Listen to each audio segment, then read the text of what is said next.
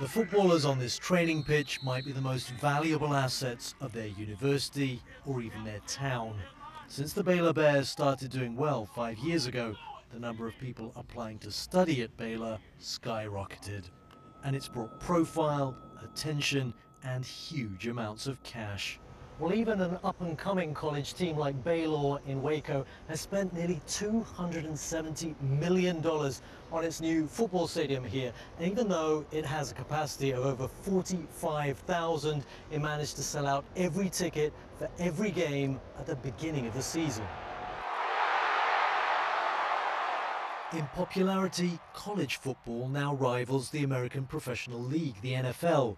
Televised college games have made young athletes like Baylor's big stars. Just to be part of the atmosphere, seeing all the fans, you know, there, you know, happy to be there, you know, cheering us on. It's, it's, an, it's an amazing atmosphere. It's really electric, and it, and again, it, it's part of the reason why we're so successful right now as a team as well.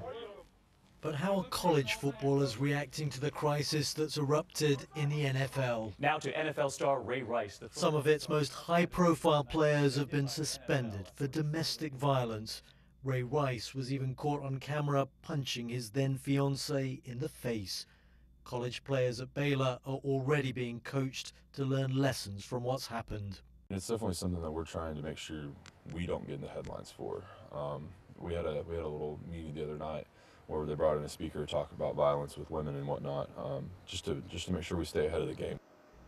But there are many, even on the Baylor University campus, who feel players' star status from an early age has contributed to the problem. It's because people like kind of treat them like celebrities in college, even. So I think they're like, I think they're like higher than everybody else. Like we can do whatever we want, you know.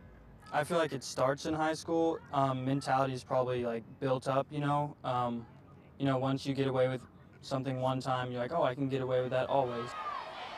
They might not look it, but these are teenagers. And this isn't a college game, but a high school one.